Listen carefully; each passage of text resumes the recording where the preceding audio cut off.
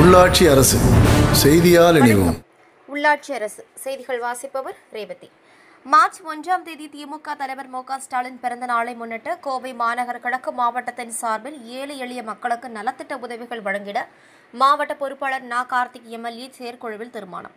கோவை மாநகர கிழக்கு மாவட்டத்தின் செயற்குழு கூட்டம் மாவட்ட பொறுப்பாளர் நா. கார்த்திக் எம்எல்ஏ தலைமையில் மாவட்ட திமுக அலுவலகத்தில் நடைபெற்றது.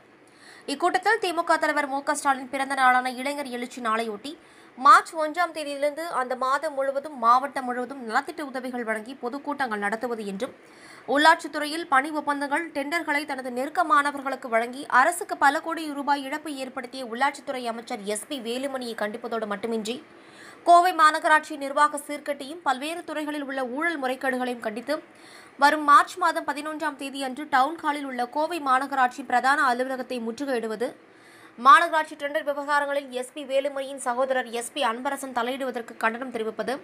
கோவை மாநகராட்சியின் குடிநீர் விநியோக உரிமையை வெளிநாட்டு நிறுவனமான சுயஸ் நிறுவனத்திற்கு வழங்கிய ஒப்பந்தத்தை ரத்து செய்ய வேண்டும். வார்டு வரியாக குப்பைகள் தரம் பிரிக்கும் மையத்தால் பொதுமக்கள் பாதிக்கப்படுகின்றனர்.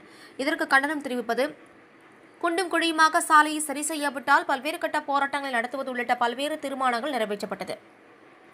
இந்த செயற்குழு கூட்டத்தில் திமுக சொத்து பாதுகாப்பு குழு துணைத் தலைவர் பொங்கலூர் பழனிசாமி மாவட்ட பொறுப்புக்குழு உறுப்பினர்கள் நாச்சிமுத்து நந்தகுமார் குப்புசாமி ஈராக்கா குமரேசன் உமா மகேஸ்வரி பொதுக்குழு உறுப்பினர்கள் மு. மாசா முருகன் வழக்கறிஞர் மகுடபதி தீபா ராஜராஜேஸ்வரி மற்றும் வழக்கறிஞர் அருள்மொழி பகுதி கழக செயலாளர்கள் S. M. Sami V. P. Selvaraj Kovai Logu பகுதி கழக பொறுப்பாளர்கள் சண்முகசுந்தரம் சேதுராமன் மார்க்கெட் மனோகரன் குனிசை லோகு தீர்மானக்குழு மூரா செல்வராஜ் மாநில மகளிர் தொண்டர் அணி இணை செயலாளர் மீனா ஜெயக்குமார் மற்றும் அணி அமைப்பாளர்கள் துணை அமைப்பாளர்கள் நிர்வாகிகள் என ஏராளமானோர் கலந்து கொண்டனர்.